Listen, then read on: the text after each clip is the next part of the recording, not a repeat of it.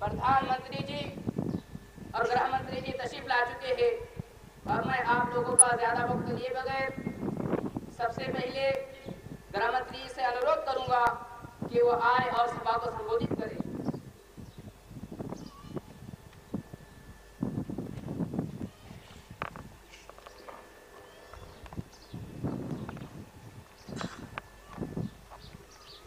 हमारे देश के महासज्जनों, हमारी तरफ़ से 15 अगस्त के अवसर पर आप सबको बहुत बहुत आशीर्वाद और शुभकामनाएँ पहुँचे।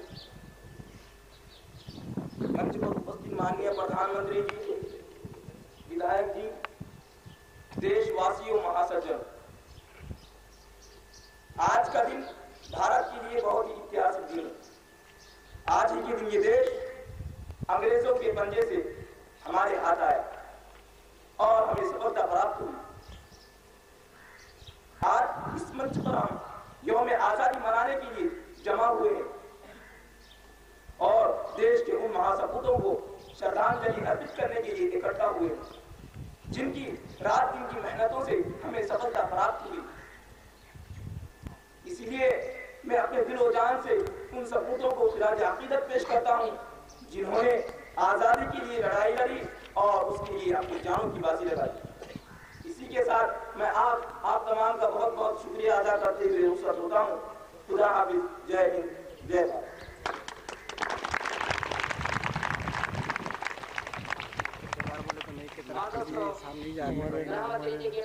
भारत है पूरे पत्रकार है ये प्रोग्राम में ये प्रोग्राम में वो सवार कहाँ है पूरा कोई जमा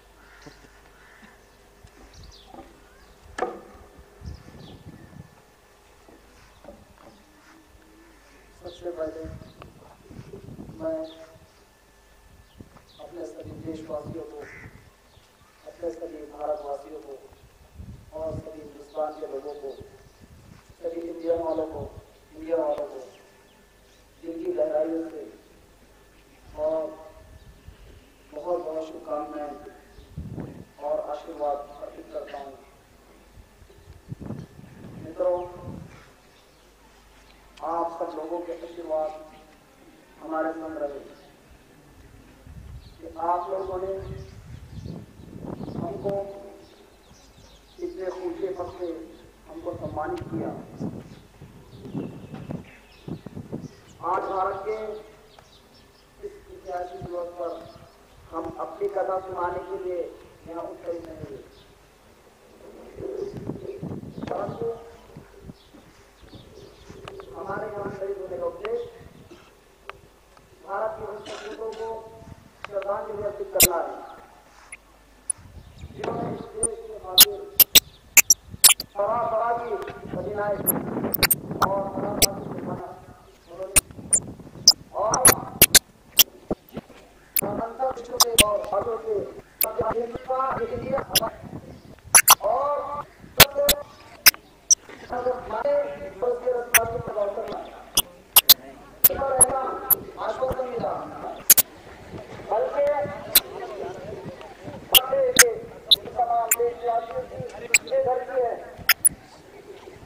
जो इस भारत में रहते हैं और जिन्होंने इस भारत की धरती पर अपना जन्म लिया है और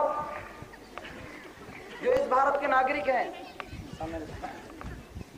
जो यहाँ की नदियों का जल पीते हैं यहाँ के खेतों का अनाज खाते हैं। यहाँ के बागों का मेवा खाते हैं। यहाँ के पर्वतों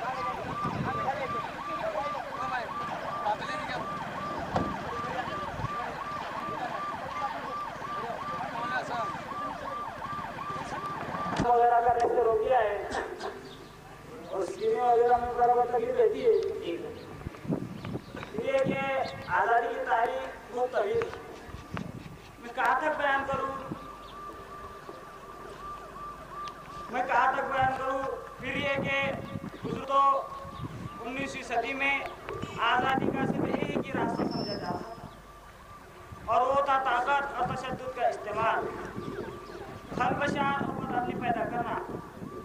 बगावत के जज्बात का हवा देना।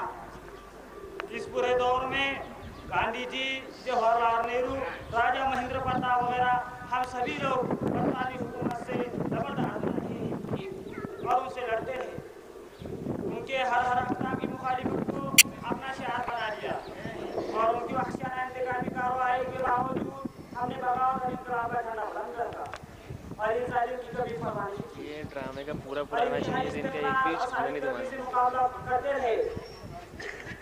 हमारे पास इस्तेमाल में कभी जमीस नहीं आई। गांधी जी मुजाहिद आज़ादी का हालत करते रहे फिर आगे अंग्रेज़ को पसमा होना पड़ा। बड़ी हिम्मत लोग जमीस नहीं आया हम अपने मकसद में कामयाब हो गए। और ये देश हमारे कब्जे में आ गया। आपने आज़ादी हिंद की तारीफ़ नहीं बल्कि आपने अपनी बड़ाई बयानी ऐसा लगता है कि आपने चादर ओढ़ रखी है। अब मुझे का किनारे से बाहर नहीं निकलने देंगे हालाँकि तारीख हकाई को करने में अमानत और मेहनत से काम लेना चाहिए अब तो क्या करना चाहिए आज़ादी में हिस्सा लिया है। और आपने इधर से इसका ये चेहरा बड़ी मेहनत की है मोटे का तो मैं यहाँ शुरू से बड़ा सभी बातें बहुत सुन रहा था और आपकी तरह बतिया नहीं थी आपकी जबान में तो बड़ी कड़की पाई जा रही है सुनिए। मगर अगर मैं गलत बयानी से काम लूँ तो मेरा गिरफ़्तार पकड़ लीजिए।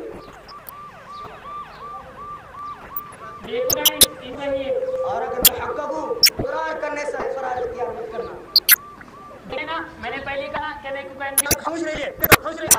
ग्यारह में सर इस ग्यारह दर हकीकत जंग जिसका नक्शा सबसे पहले मुसलमान छीना था।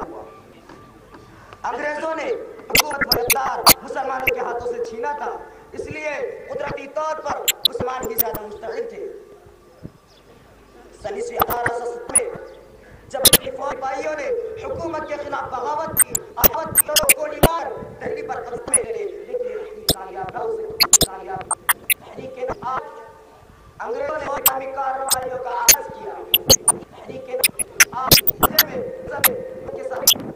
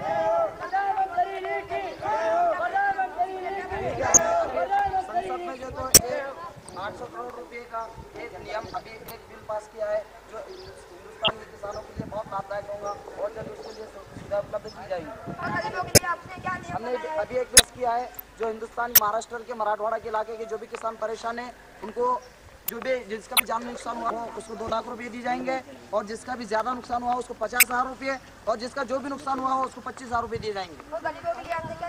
गरीबों के लिए हमने हर सफल कोशिश की है बहुत जल्द आपके सामने आने वाली है। प्रधानमंत्री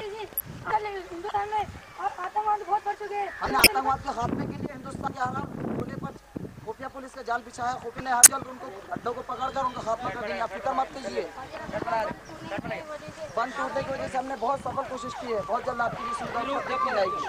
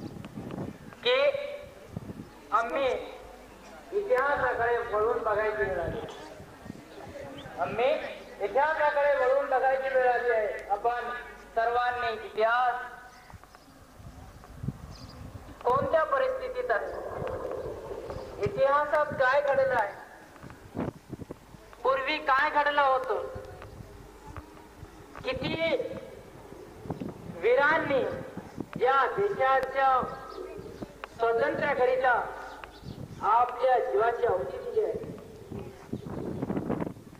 किती लोक वीराने स्वखुशीने गर्भासाला फुलाची माळा समजून आपल्या घरात घातली आहे. या सर्वांना आपण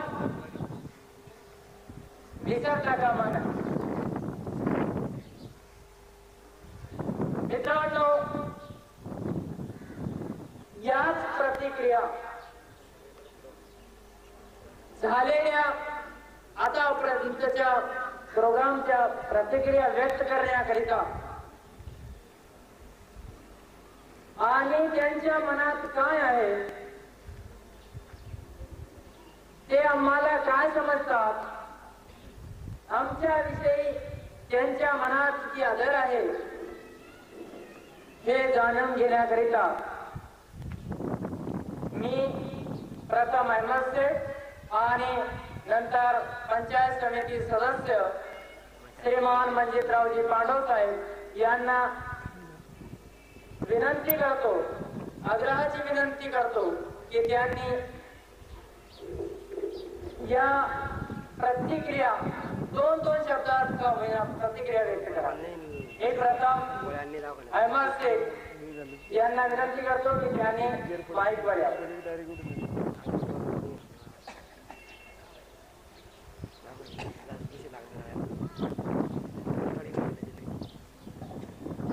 अध्यक्ष या कार्यक्रमाचे अध्यक्ष मोहम्मद मियाँद्दीन साहेब आणि या कार्यक्रमाचे उद्घाटक माननीय अशोकरावजी देशमुख।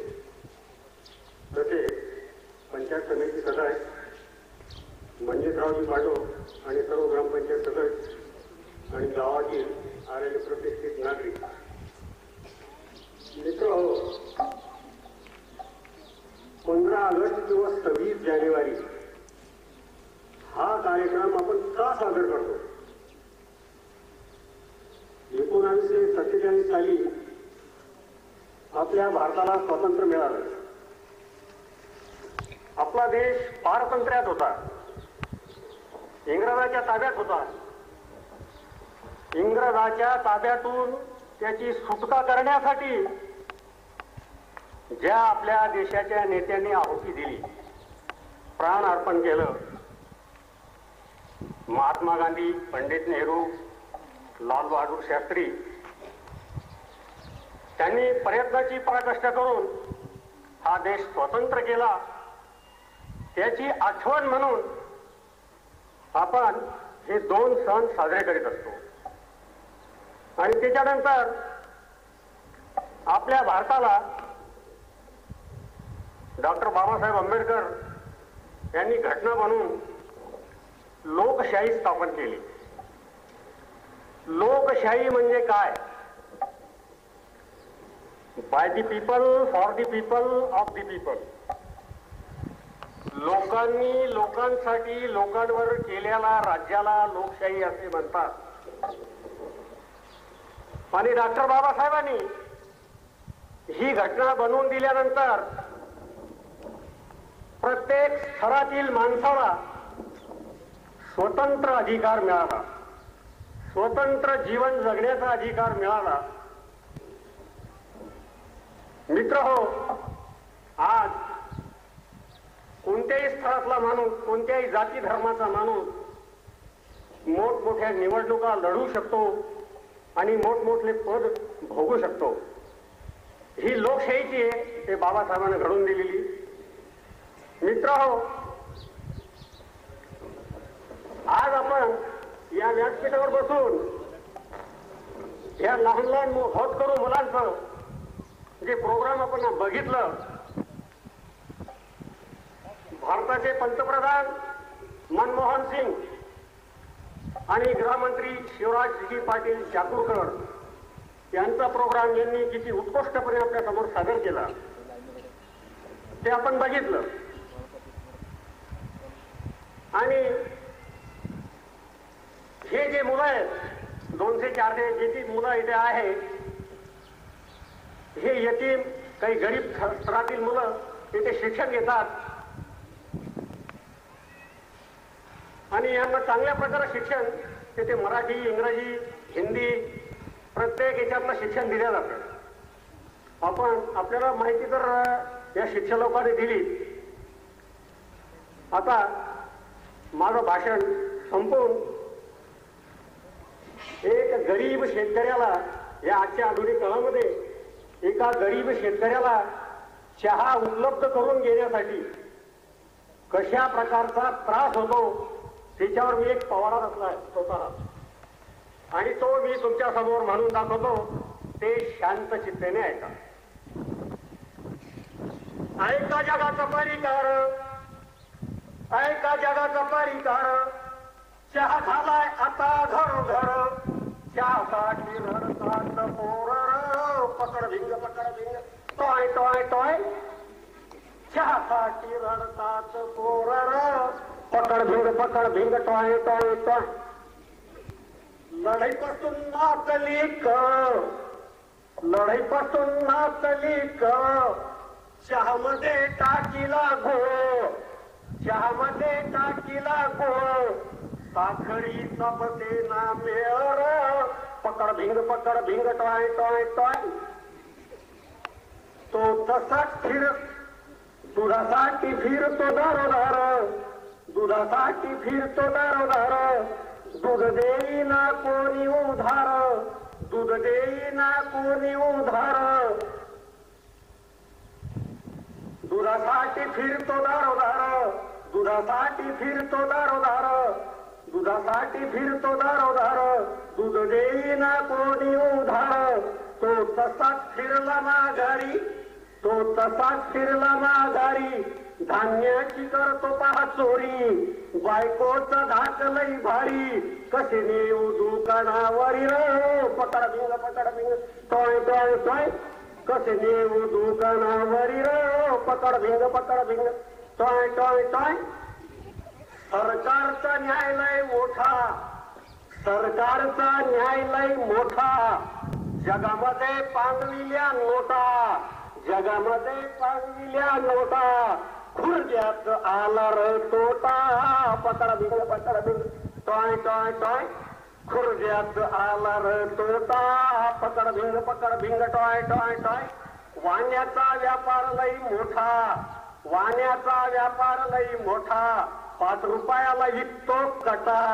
पाच रुपयाला विकतो कट्टा लवंगात आला र तोटा. पकड भिंग पकड भिंग टॉय टॉय टॉय.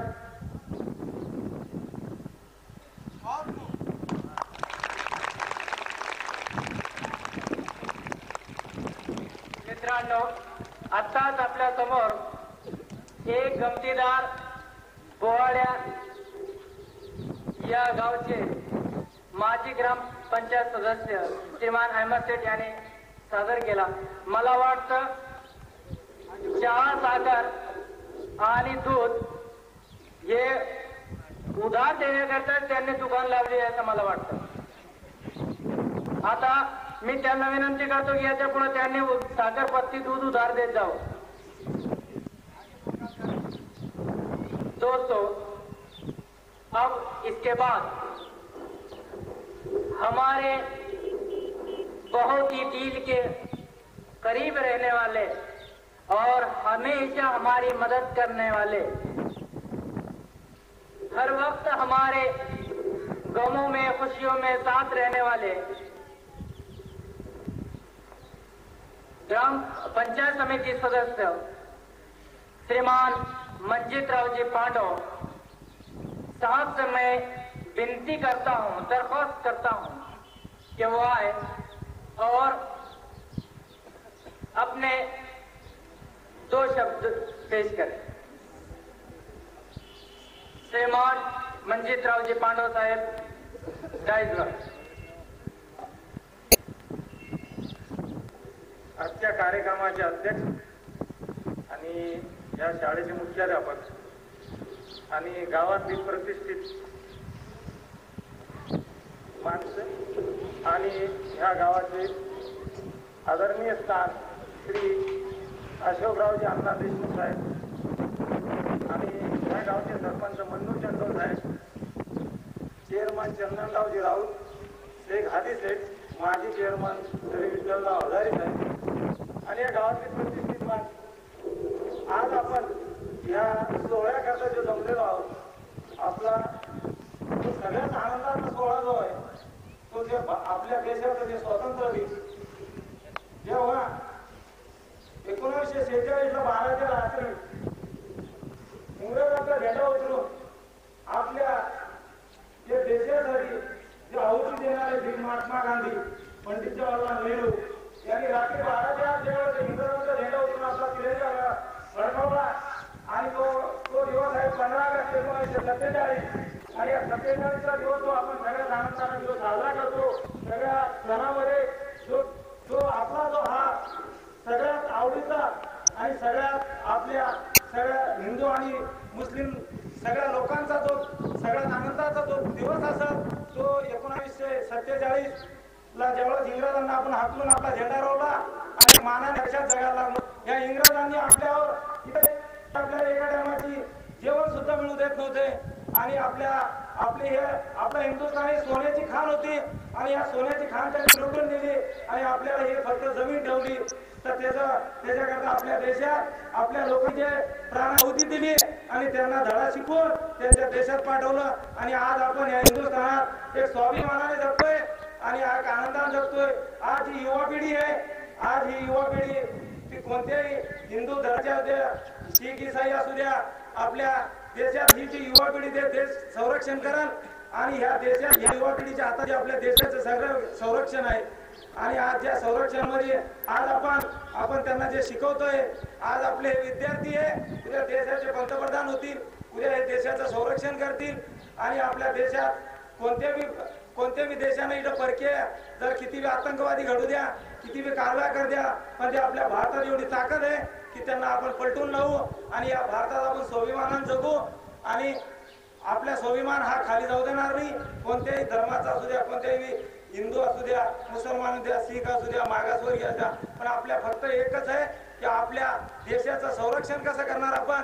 त्यासाठी आपली आपल्या देशाला आपण संरक्षण करता आपली आहुती देण्याचा बी जर वेळ आली तर आपण त्याला मागे हटणार नाही. आणि या देशाचं संरक्षण करू सोनिया गांधीचे स्वप्न आपलं राजीव गांधीचे स्वप्न पूर्ण करू कॉम्प्युटरमध्ये आज आपला देश नंबर एक वर आहे. आणि आपले जे अब्दुल कलाम राष्ट्रपती भारताचे राष्ट्रपती आहे जे आपले एकवीसव्या शतकाकडे वाटचाल करत आहे आपला देश हा हा जगामध्ये एक पावर बनणार आहे. आणि तो त्याला कोणी अडवू शकणार नाही कोणी मोडू शकणार नाही. आज नंबर एक महासत्ता बनणार आहे. आज या सत्तेला रोखणार कोणता विदेश असला तर तो मागे पडणार आणि आपली वाटचाल आपण करू. एवढं बोलून मी दोन शब्द संपवतो. माझी जागा मांडव आप उसे खिताब कर रहे थे उन्होंने अपने भाषण में कहा कि हम मजहब वाले बाद में हैं पहले हिंदुस्तानी। हम पहले हिंदुस्तान के हैं, बाद में अपने मज़हब के हम हिंदुस्तान में रहते हैं। तो हमारा इस वतन पर बात प्यार है। हम इस वतन से प्यार करते हैं। अब चूँकि वक्त ज़्यादा हो रहा है और आपने अपना अमूल्य वक्त जो है, अपना कीमती वक्त हमें दिया है, मैं आपका वक्त जाया नहीं करते हुए, प्रोग्राम को आगे बढ़ाते हुए इस प्रोग्राम के रुए रवा और सदर मोहतरम से मातबाना दरख्वास्त करता हूँ कि वो डाइस पर तशरीफ लाएं और हम हमें जो है तो अपने अ, मुफीद राय से नवाजें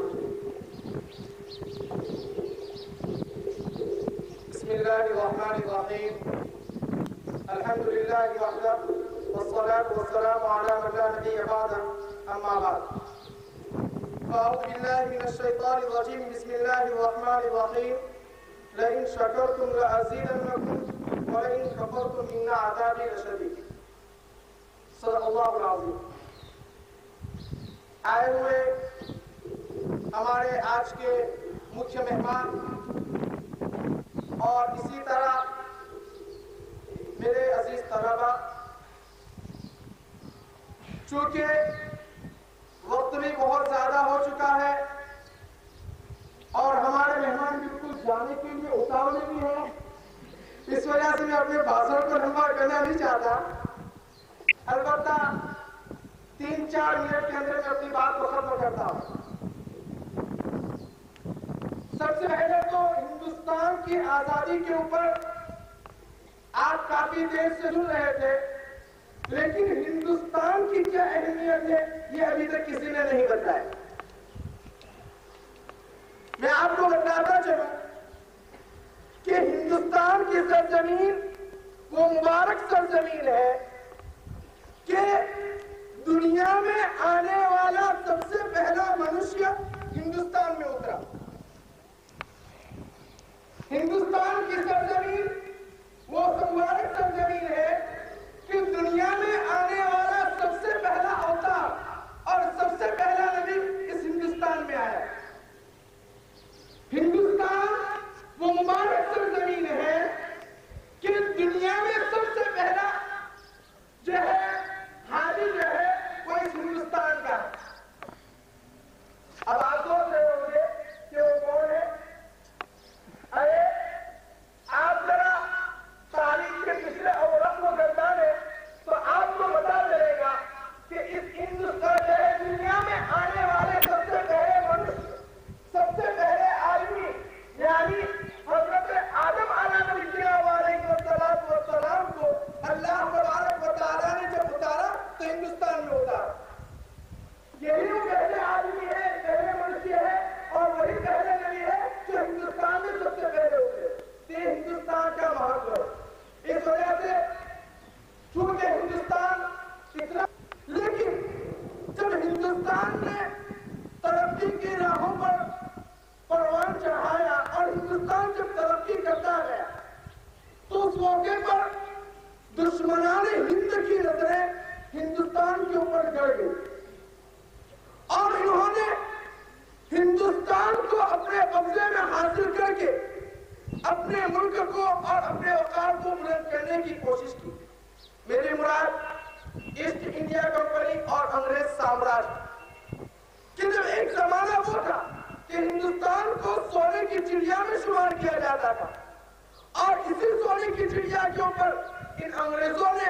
बदनजरी की बदनिगाही की और चंद सालों के लिए वो हिंदुस्तान के ऊपर काबिज हो गए लेकिन जैसे ही उन्होंने हिंदुस्तान के ऊपर कब्जा किया तो हिंदुस्तान में रहने वाला बाशिंदा कोई इतना कमज़ोर और लागू नहीं है कि वो हिंदुस्तानियों के ऊपर किसी दूसरे की गुलामी का तो हिंदुस्तानी अपने गले के अंदर डाल दे। चुनाचे हिंदुस्तानी वासियों ने और हिंदुस्तान के बाशिंदों ने इसे गवारा न किया। और अंग्रेज़ों ने अपने इस मुल्क को आज़ाद कराने के लिए, अपने इस देश को आज़ाद कराने के लिए उन्होंने जंग आज़ादी को छेड़ दिया। और इस जंग आज़ादी की लड़ाई किसी एक कौम, किसी एक फल के या किसी एक आदमी ने मिलकर नहीं लड़ी, बल्कि इस आज़ादी की जंग के अंदर सारे ही कौम के लोग एक साथ शरीक इस जंग आज़ादी में जहाँ पर महात्मा गांधी जी मौजूद थे, वहीं पर आज़ादी की इस जंग में हमारे मुस्लिम जो है, शेखुल इस्लाम, हज़रत मौलाना हुसैन अहमद मजली मैं आपको बताता चलूँ कि चूँकि हिंदुस्तान के ऊपर जिस वक्त अंग्रेज़ों ने कब्जा किया था, उस वक्त हिंदुस्तान की हुकूमत मुगलों के हाथों के अंदर थी, मुस्लिम बादशाहों के हाथों में थी। इस बिना पर मुसलमानों के ऊपर ये बात साफ़ गुजरी। इस वजह से आज़ादी के लिए सबसे पहले जज्बे सबसे पहले जिसके दिल के अंदर जज्बा उठा, वो शेखुल हिंद तरह सुल्तान जी को शहीद और हज़रत शाह अब्दुल अज़ीज़ मुहदी से जब हिंदुस्तान के अंदर अंग्रेज़ों ने अपने कदम जमाए तो सबसे पहले इन अंग्रेज़ों से लड़ाई लड़ने का जो फतवा, इन अंग्रेज़ों से जिहाद करने का जो फतवा अगर किसी ने दिया है तो हमारे मुस्लिम आलिम शाह अब्दुल अज़ीज़ मुहद्दिस देहलवी ने दिया है, जिन्होंने बरसरे बेकार बरसरे ऐलान ये कहा है कि हिंदुस्तान दारुल हर्ब हो गया है। अब हर मुसलमान के ऊपर ज़रूरी है कि वो अंग्रेज़ से इस हिंदुस्तान को छुड़ाए। और उसके बाद शेख मुहिंद अलैह शेखुल इस्लाम रहमतुल्लाह ऐसे मुजाहिद इस जंग आज़ादी में शरीक रहे। और अलैह ने एक तहरीक चलाई, जिसे रेशमी रुबाब की तहरीक से जाना जाता है।